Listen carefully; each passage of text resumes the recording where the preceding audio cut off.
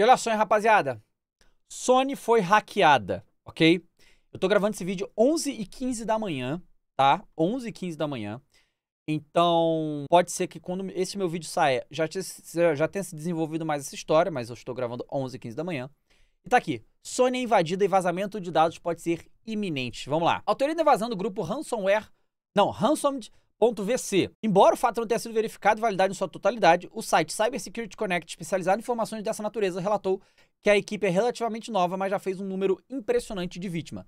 Declaração dos invasores foi a seguinte: comprometemos com sucesso todos os sistemas da Sony. Não vamos fazer ransom com eles, vamos vender os dados, porque a Sony não quer pagar. Os dados estão à venda.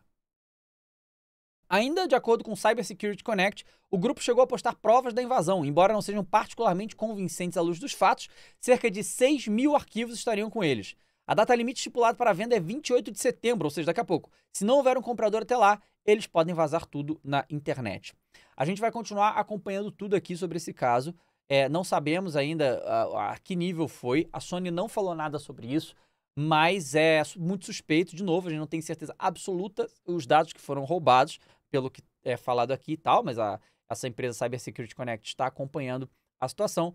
Mas vamos ver se vão ver outros vazamentos. A gente teve um vazamento massivo semana passada da Microsoft, mas aí que foi pela própria Microsoft mesmo. Mas agora a gente tem um, a Sony sendo hackeada e seus dados estarem vulneráveis. Vamos ver o que vai acontecer na, sei lá, nas próximas horas ou dias.